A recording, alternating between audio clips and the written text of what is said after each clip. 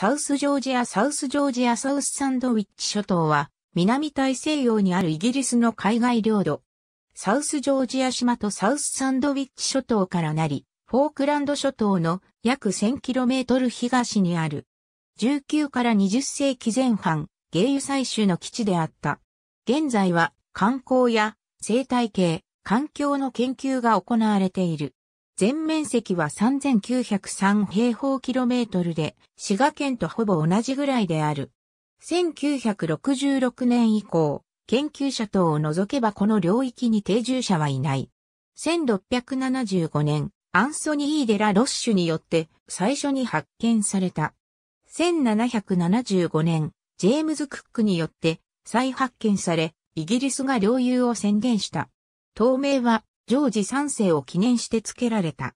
フォークランド戦争の際には一時アルゼンチン軍に占領されたが、3週間後の1982年4月25日にイギリス軍によって奪還される。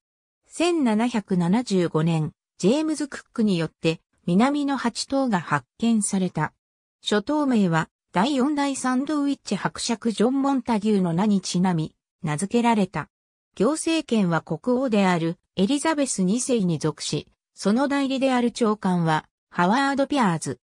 サウスジョージアサウスサンドウィッチ諸島サウスジョージアの地名、サウスジョージアサウスサンドウィッチ諸島北からサンダース島、モンタギュー島、ブリストル島はどの準諸島にも属さない。